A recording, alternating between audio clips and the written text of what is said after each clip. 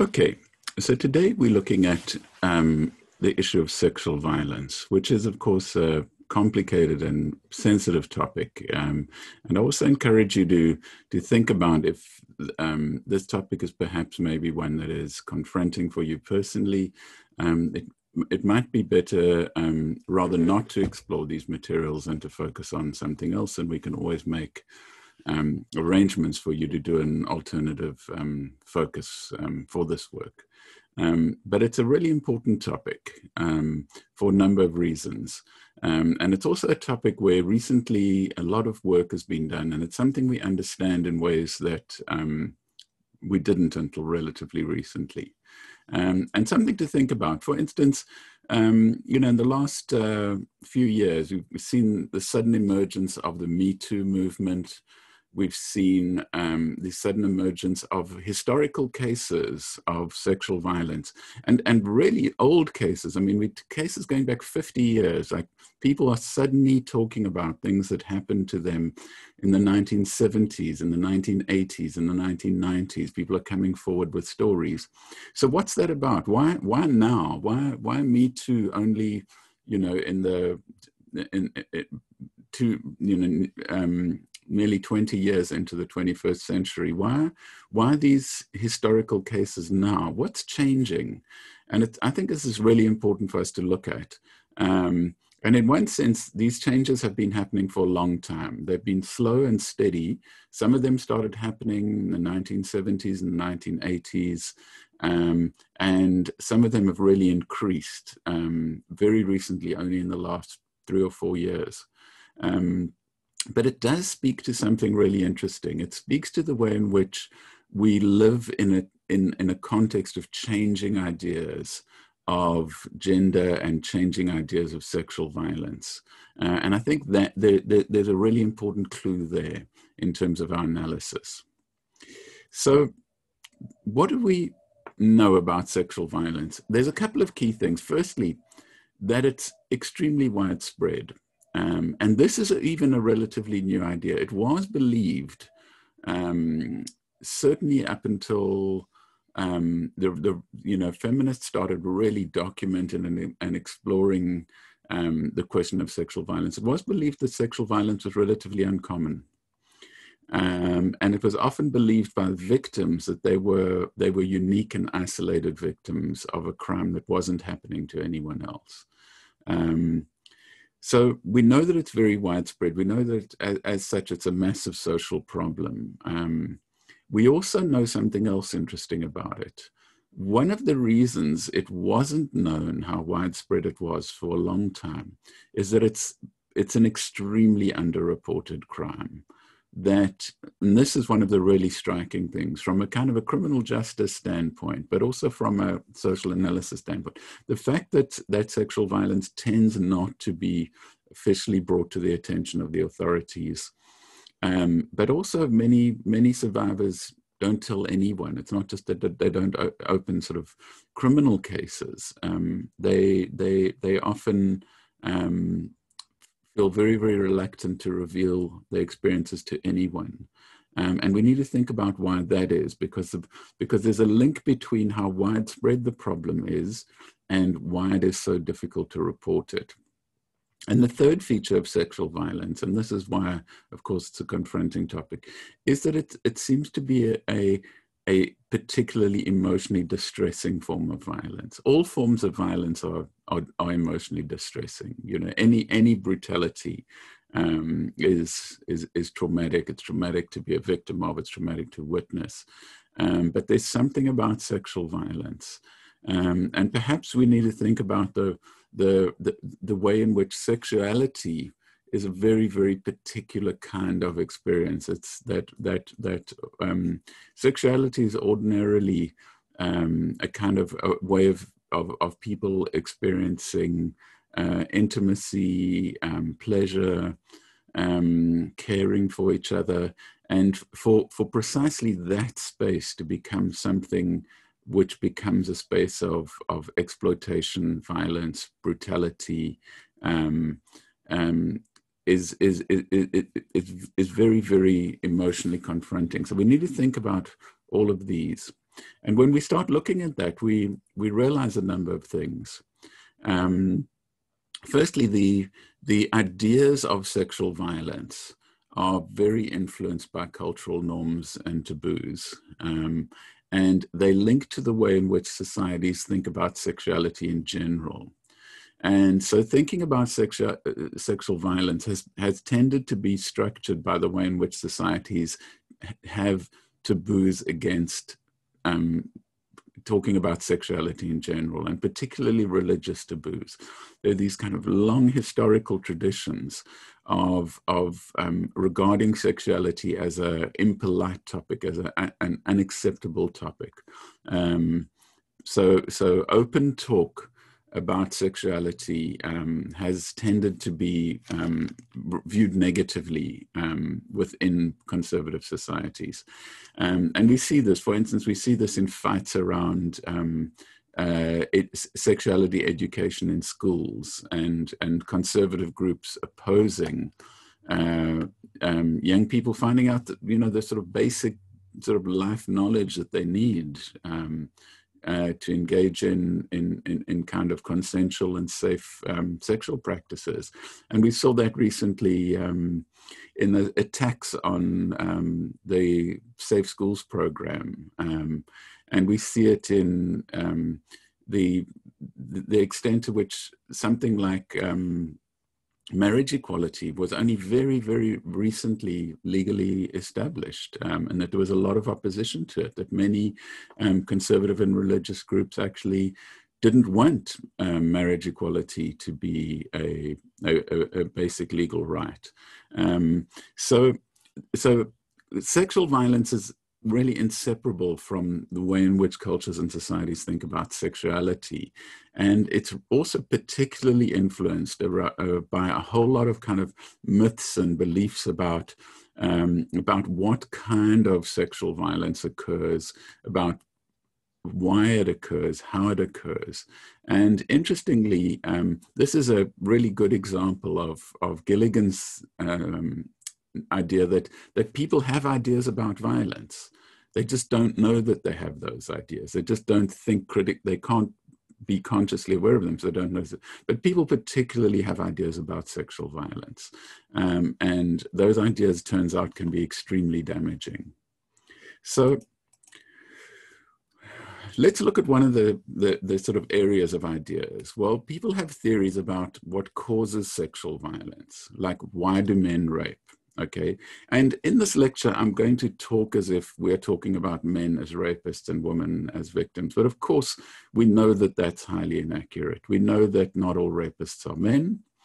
Um, and we know that many victims are not women, um, that sexual violence against men is a reality, particularly sexual violence against boys and younger men.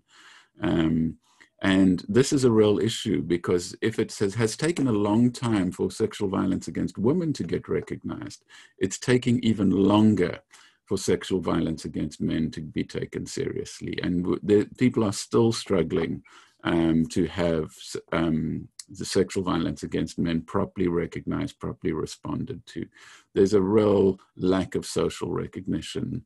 Um, there's real difficulties. If, it, if it's difficult for a woman to go and report a sexual assault, it's doubly difficult for a man to report a sexual assault. Um, so, so this is a really complicated situation. And this idea of like, why do men rape even is, this is a, this is already a, a, a um, an incorrect assumption because people of all genders rape. However, there is a very, very clear statistical predominance of men as, as perpetrators of sexual violence and as perpetrators of sexual violence against other men and against women. Um, and there's much more of a prevalence of men as offenders than there are of women as victims. Um, but um, just to be aware that we're already bringing in this conceptual baggage when we even ask a question like, like why do men rape? Um, okay, and there, there, there, there has been a, a historical kind of idea that has been thrown around. And, and it's a classic example of this kind of socio-biological, these sort of um, pop evolutionary explanations um, which is that, um, well, men evolved an, uh, a sexual drive um, because for the perpetuation of the species, what men need to do is to impregnate as many females as possible to create as many offspring as possible. And so, so the, so the, in order to, for the, the genes to, you know, exist in the gene pool, um, the um, that that men men had evolved with this kind of sex drive. Um, uh, and women didn't need to evolve a sex drive, and there's an interesting kind of erasure of female sexuality there. But but the interesting thing that not only is that kind of that that sort of um, pop uh, uh, sociobiology kind of theory, sort of widely believed by people who haven't studied um, gender violence, um, it, it's something else that's really interesting that gets added to that is that this that this sexual drive is kind of uncontrollable. You know that that that that that that other kind of drives you know other kind of impulses people have um, are are assumed to be um, easily manageable. Um, and so people don't you know um, there's no kind of equivalent of oh like the reason people steal stuff or you know they steal um, is because they have a drive to possess kind of certain things. Um, um, but but the particular way in which it gets articulated is interesting is this idea that that that that that um, this this drive is out of control. And and that um, and what that leads to doing is is not simply the idea that well that men need to strive to control this this um, uh, um, acclaimed sexual drive, but actually women need to take responsibility for controlling it too.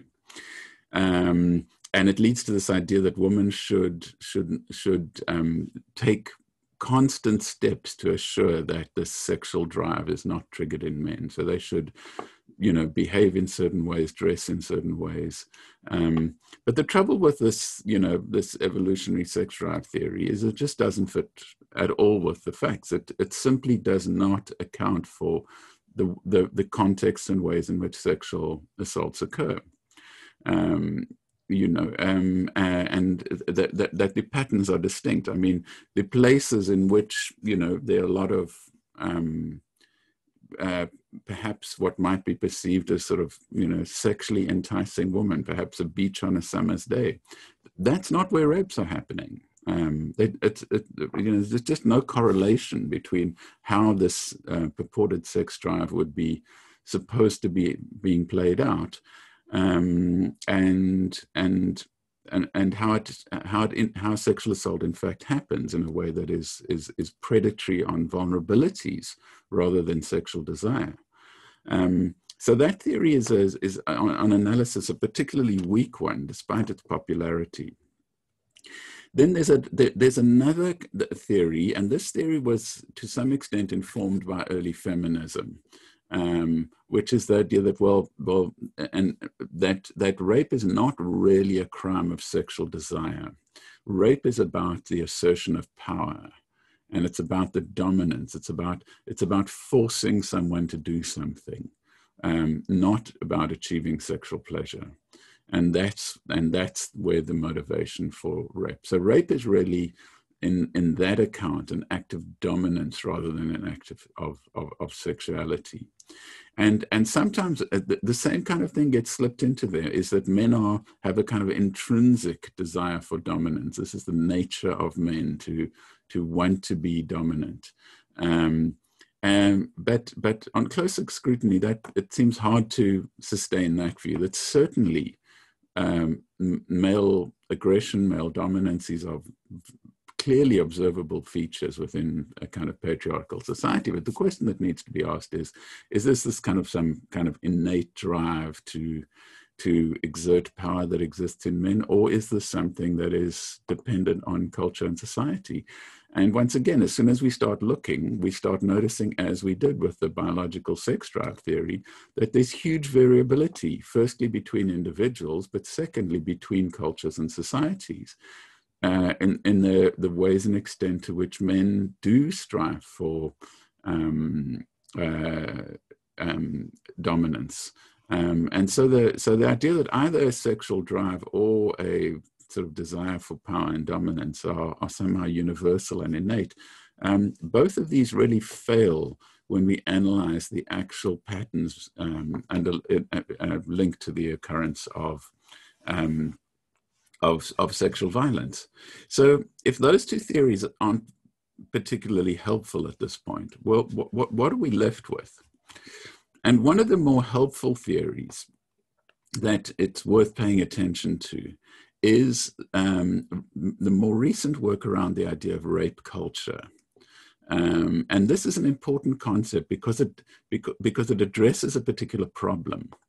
Within popular culture, the idea of the rapist, okay, the, the, the, the, rapist as a kind of a particularly sick, terrible, depraved individual um, that um, is, is, is a really powerful idea. And, and what's, when we look at this idea, what's important in it is it individualizes um, the the the the act of sexual violence. It's, it locates it within the the pathology, within the the mental illness um, of the rapist or or their social deviance.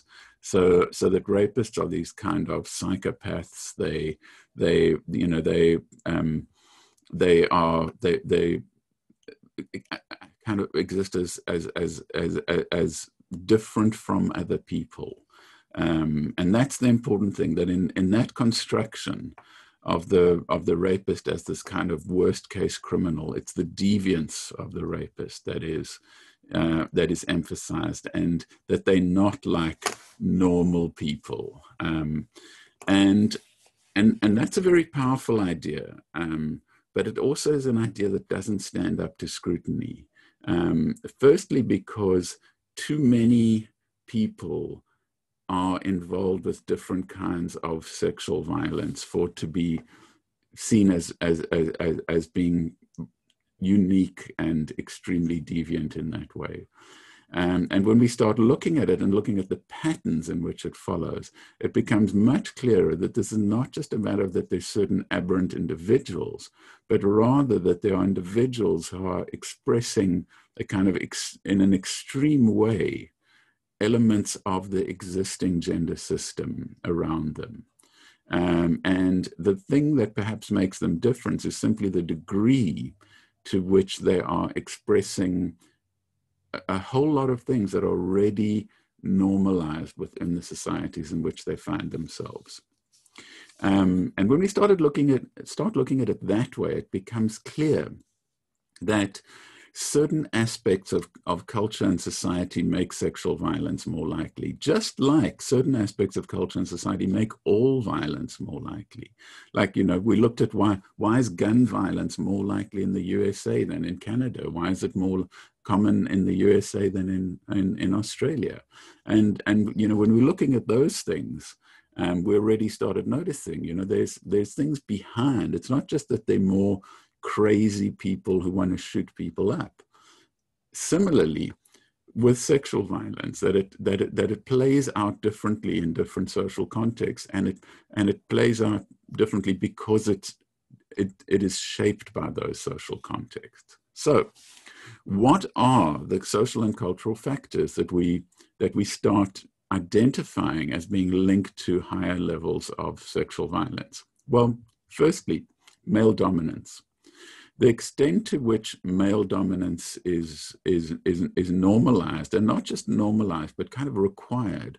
Remember when we were talking about that school bullying, how, how the boys were kind of forced into, into male dominance. Um, um, and and the extent to which that is a, a, a that that that in order to be accepted and to have your identity recognized um, and viewed positively as a, a, um, in a male masculine role, you you have to perform these kinds of acts of dominance, um, and that they also link to acts of of entitlement. And dominance and entitlement are not the same thing, but but they are linked. And entitlement refers to the the idea that as a as a man you have a right to certain things like you have a right to respect whatever that word is taken to mean you have a right to to um, be treated in certain ways. You have um, you have you have a right to expect to be obeyed. You have the right to expect um, certain people to be submissive towards you, um, and and and that's the kind of uh, um, realm of of entitlement. And of course, that then links to sexual entitlement. That you have a right to you know that if you've bought someone dinner, you have a right to expect them to have sex with you, or if someone has invited you into their home, you have a right to expect them. These are these are all kind of sort of cultural notions of entitlement that, interestingly, tend to get attached to to to masculinity rather than um, uh, femininity or any other gender categories. The other factor that it's linked to is the extent to which there is sort of male institutional power and sort of networks of male power. That and so you see in in um, the way this works. For instance, in in many societies, the police tend to be male. The the magistrates and judges tend to be male. The um, the, the the the politicians who write the laws tend to be male. Um, and so so you you get this kind of convergence of gender interests um, and also um, convergence of, of, of, kind of collaboration. Like we saw a, a terrible c- case recently in which a police, a male police officer, um, released information uh, it, um, to his sort of male buddy about about his um, his his friend's partner who who um, who was in a place of safety because this because this this officer's friend was a was a, a, a, an offender. He was violent towards his intimate partner, and that's just an example of kind of men, you know, sort of you know backing each other up, collaborating with each other up. In the same way we saw with those U.S. cops sort of covering up acts of violence, we see we see this sort of like um, turning away from minimizing, trivializing um, acts of gender violence um, between men because they they they they populate those networks where those that that have the power to do those those policing and and um, and justice networks. Um, the other thing linked to to this is, is, is sort of cultural assumptions about differences in trustworthiness and this is a really interesting thing which we, might not notice but but there but but one of the kind of terrible historical legacies has been this idea that, um, and it's still built, it was built into Western legal systems and is still built into some other legal system, that women shouldn't be believed. Um, that if there's a testimony between a woman and a man, the, the man is more likely to be truthful than the woman. Um, and this makes um, uh, the reporting of, of, of sexual violence against women very, very difficult. Um, but it's not just that. When we, we, talked about the sort of masculine dominance and entitlement, but linked to that, and this is incredibly important. I, I don't think this can, the, the interaction between these two elements can be stressed enough. Linked to that is, the, it, is its kind of opposite, which is feminine submissiveness and acquiescence. Um, that women are, are, are, that within the sort of traditional feminine gender role, femininity is pre- precisely in being um, uh, um, obliging, um, submissive, uh, attempting to make other people happy, attempting to do what what what other people require, and so you've got this terrible kind of system of of this masculine assertion, dominance, and and feminine submissiveness and acquiescence, and so of course that's going to play out in the realm of sexuality that in in in these kind of moments of sexuality that that that, that dominance is going to be is is is, is going to be, be a factor that is expressed um, um, in in men with that sort of traditional masculinity and the female submissiveness the the idea that one one has to that you that you you can't fight back you can't say no. Um, and this is um, particularly interesting not just and and it's and and it's it's one of the reasons why certain kinds of sexual assault are, have have have been harder to report and take and uh, have taken longer to be recognized because the idea of a sexual assault by a stranger where you know an ideal victim is simply going along you know doing her shopping whatever uh, and then is, is, is suddenly violently assaulted by a complete stranger. Um, that's easily recognized because of the kind of illegitimacy of it. But the other kinds of sexual assault that rely on the fact that people know each other, that this person, oh, been on a few dates with this person, or this person has been buying you a few drinks, and suddenly it's not a brute force between strangers, but the but the exploitation of these conventions around masculine dominance and, and feminine submissiveness that come into play.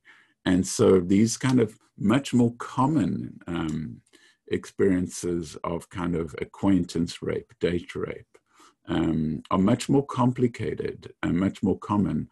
Um, and because they're so embedded in traditional gender roles, it also becomes much harder to for people to identify that in fact a, crime has been committed. Um, that that in fact um, this should not have taken place. That, that, that there was that that um, that sort of you know an indication of reluctance should have been taken seriously. There shouldn't have been a demand for submissiveness. Um, and, and, and, and, and, and these are the kind of areas of sexual violence that have taken much longer to recognize and understand it. And, and we're only now starting to find ways of, of, of dealing with them effectively. And of course, the other factor that we referred to before is the question around um, the the way in which a culture thinks about sexuality and the taboos and silence and shame, particularly around feminine sexuality, um, and and in a way that there often isn't around masculine sexuality. So so for for um, women who are victims of sexual violence, the um, the um, they, they, they, they, they face these additional sexual taboos of like, well, what, that, that the, the mere fact of them being involved with a sexual scenario is, is, is, is immediately sort of um, within certain cultural formations um, constructed as a, as a cause of shame. And similarly for male victims of sexual violence, the fact that they were, that they were sexu- um, sexually violated by a man um, or, or, or by a woman. Um, in the case of, of male perpetrators, um, there's the shame around uh, that is constructed in terms of homophobia, in terms of of like, well, this is that that, that their sense of, of of masculinity is linked to a sense of heterosexuality, and suddenly, and being sexually assaulted by um, by man makes them feel a kind of homophobic shame. Uh, similarly, men who are sexually assaulted by women feel the kind of shame of of their their masculine kind of dominance um, being totally undermined by that. The the the idea that they that their autonomy was taken away by someone who their their culture expects them to to exert dominance over. So all of these factors, all of these these different kind of cultural elements that exist in different ways in different societies and exist in different ways and at different historical moments, all of these sort of lock together uh, in particular ways. They intersect in very specific ways in different times and places to form uh, rape culture, to form the cultural backdrop in which um, sexual violence becomes becomes more common, becomes easier to, to commit, and becomes easier to get away with, um, or, and it becomes less recognized um, in terms of its seriousness, in terms of its harmfulness, in terms of its brutality, um, and it becomes more difficult to hold um, perpetrators accountable and for survivors to seek support. Um, so it's really important the way in which the, the, the idea of of rape culture really gives us a, a framework that helps us understand the social context in which um, sexual violence happens and enables us to identify the specific um, features of it. Okay, so I'm going to um, end this first video now, um, and then we will go on in a second video to look at the, the rest of the material on rape culture that we went, on sexual violence that we want to cover today.